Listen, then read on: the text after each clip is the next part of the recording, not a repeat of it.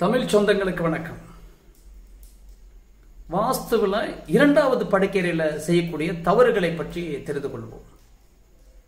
மேற்கு பகுதியிலையோ வடமேற்கு பகுதியிலேயோ இரண்டாவது படுக்கையறைகள் இருக்கும். தெற்கு பகுதியில் இரண்டாவது படுக்கையறைகள் இருக்கும். தெற்கு படைகளில் தென்கிழக்கில் ஒரு பகுதியில் கழிவறையும் ஒரு பகுதியில் பூஜை ரூமோ அல்லது ஸ்டோர் ரூம் அமைப்பையோ இல்லை ஏற்படுத்தி அதற்கு பிறகு சமையலறை ஏற்படுத்தியிருப்பாங்க. இந்த தவறு எக்காரணம் கொண்டும் செய்யக்கூடாது.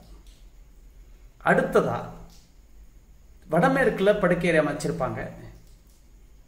காலோட மத்திய பாகத்தில்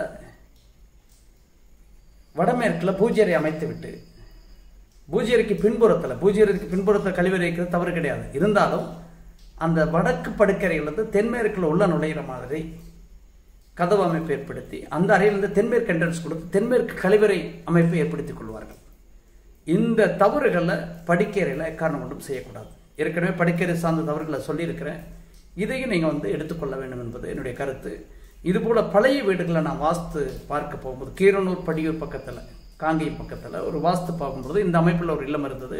அதை மாற்றி கொடுத்துருக்குறோம். இப்போ நன்றாக இருக்கிறார்கள் என்பது அந்த பதிவில் தெரிவி அவர் அவர் வந்து சேருக்க சிரமப்பட்டாங்க அப்படி முடியாது நாங்கள் அப்போது வந்து அந்த கழிவறைகளை இல்லாமல் அமைத்து அந்த தென்மேற்கில் இருக்கக்கூடிய கழிவறைக்கு இன்டர்லைன் கொடுத்துட்டு ஒரு அறைக்கு கழிவறை இல்லாத அமைப்பு ஏற்படுத்தி ஏற்படுத்தி தான் ஆக வேண்டும். அந்த மாதிரி தான் மாற்றங்களை செய்து கொடுத்தது.